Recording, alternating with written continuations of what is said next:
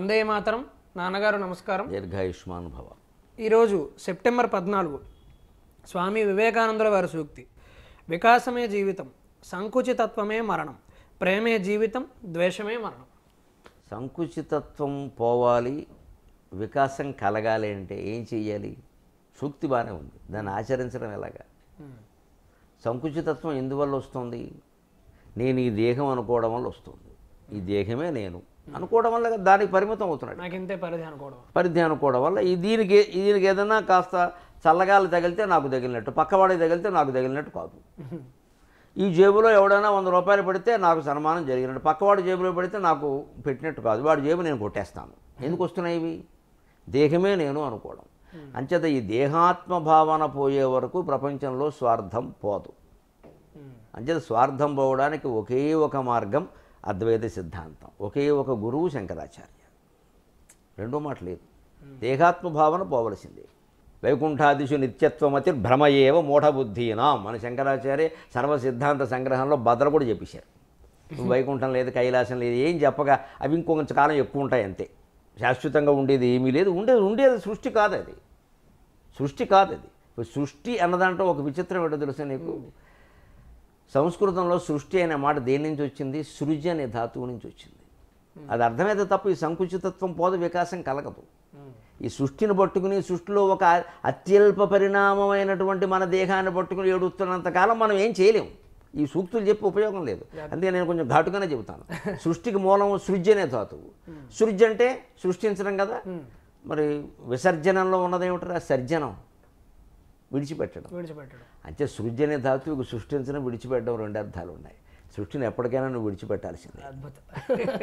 వ్యాకరణం వేదాంతం అంటే అర్థం. వ్యాకరణం అర్థమైతే వేదాంతం అర్థం అవుతుంది.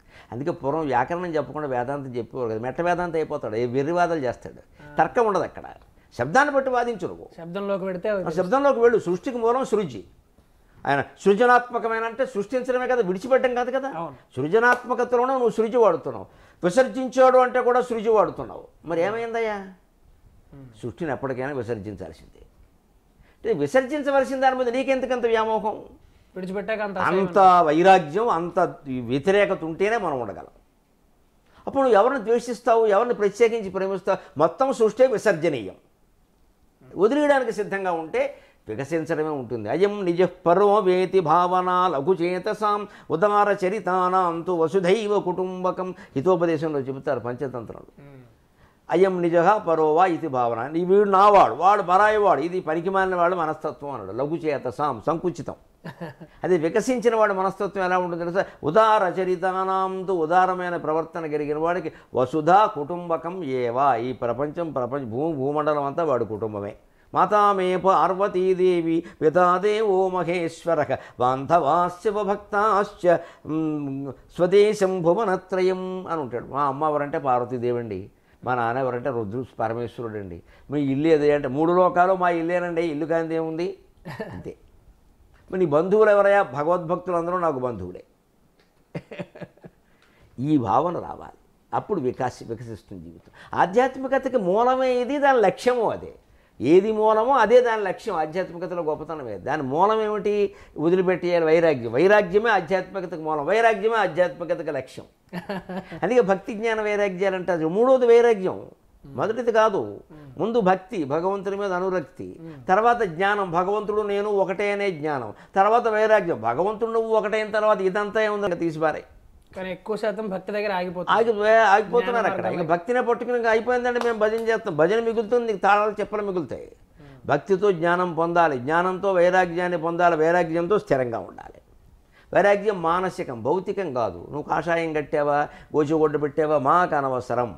నువ్వు సర్వాభరణాలు ధరించు. పెళ్ళి కొడుకులా ఉండు. లోపల మాత్రం ఇవేవి నేను కాదన్న భావంతో ఉండంతే లెక్క. ఎందుకు ఉన్నాయి? ధరిస్తున్నారు అంటే ఉన్నాయి కాబట్టి ధరిస్తున్నారు. లేకపోతే వదిలేస్తారు లేకపోతే వదిలేస్తారు. అంతే అది. అద్భుతం.